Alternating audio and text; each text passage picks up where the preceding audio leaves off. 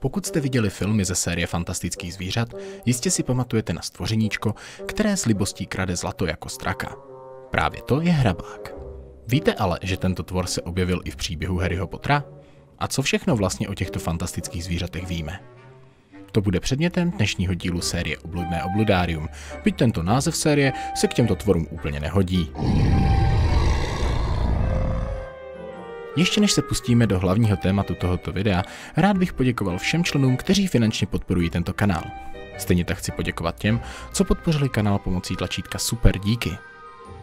Pokud se vám video bude líbit, budu moc rád, když dáte like a případně i odběr, pokud chcete sledovat další videa ze světa čar a kouzel. Hrabák je jedním z typických zvířat britských ostrovů. Jde o malého chundelatého tvorečka, který podle některých zdrojů připomíná hlodavce, podle podoby, kterou dostal ve filmu, bych ho ale spíše přirovnal k ptakopiskovi. Má protáhlý čumák a žije obvykle v doupatech zhruba 20 stop pod povrchem země. Srst hrabáku je černá, avšak ve filmu jsme mohli zahlednout i jiné odstíny u mláďat. Je tedy možné, že se vzácně vyskytují v jiných barvách nebo se jim srst postupně vybarvuje do tmava. Samice mývají obvykle 6 až 8 mláďat v jednom vrhu. Co se týče pak povahy těchto tvorů, jsou poměrně mírumilovní a působí rostomilé.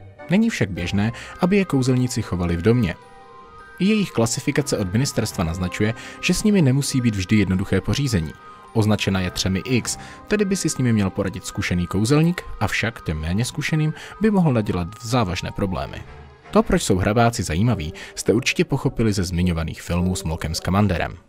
Kromě hrabání v zemi má totiž tento druh neuvěřitelnou zálibu v třpitivých předmětech.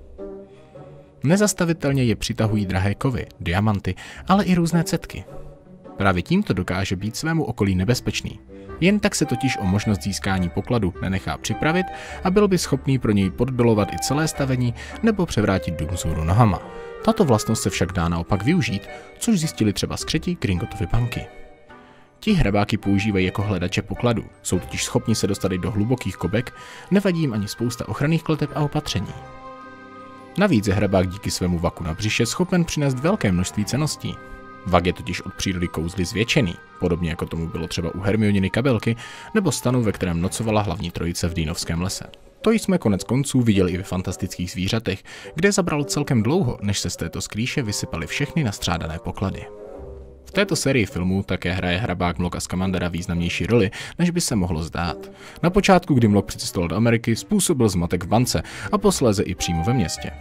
Naopak na Grindelwaldově proslovu v Paříži však právě onen hrabák ukořistil pro Mloka krevní pakt, kterým se Gellert spojil s Albusem Brumbále a zařekl, že spolu nikdy nesvedou souboj.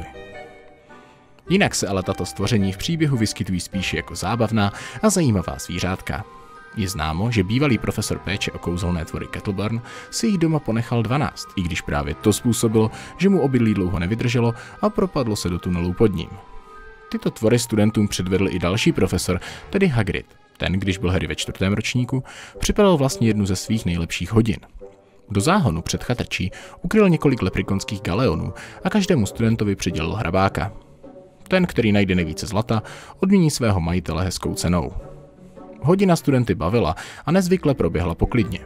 Až na pokus hrabáka ukrást panci Parkinsonové hodinky z jejího zápěstí. O rok později se pak studenti mohli přesvědčit, že tito kouzelní tvorové mohou i takzvaně ukázat zuby.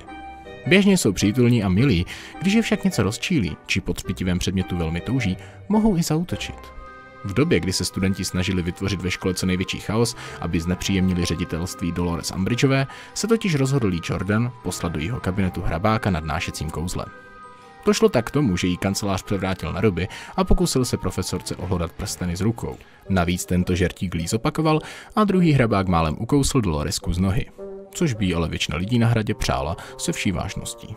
Problém ale byl, že z těchto kousků obvinila Hagrida, což jen uspíšilo jeho nucený a násilný odchod ze školy. Závěrem už bych jen připojil, že hrabáci, byť působí milé a zajímavě, jsou tvory, kteří kouzelníkům hodně stěžují utajení před světem mudlu. A překvapivě to dělají víc než draci nebo obři, kteří se přítomnosti lidí spíše straní. Hrabákům je totiž jedno, kde třpitivé předměty seženou. A tak se poměrně často pouštějí i do mudlovských domácností nebo obchodu s klenoty, kde si nadspou váček na břiše a pak zmizí zpět ve svých norách a doupátech pod zemí. Já doufám, že se vám dnešní díl, tedy řekl bych hodně krátký díl obludného obludária líbil a pokud ano, tak vzpomeňte na to, co jsem říkal na, v úvodu videa a dejte tomuto videu like a případně odběr kanálu, pokud vás tohle video bavilo.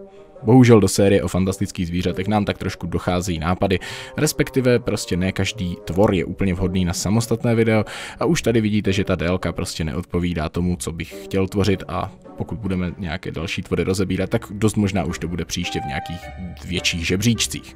Kdybyste ale měli přece jenom nějakého tvora, který si myslíte, že by si zasloužil vlastní epizodu, zkuste to napsat dolů do komentáře.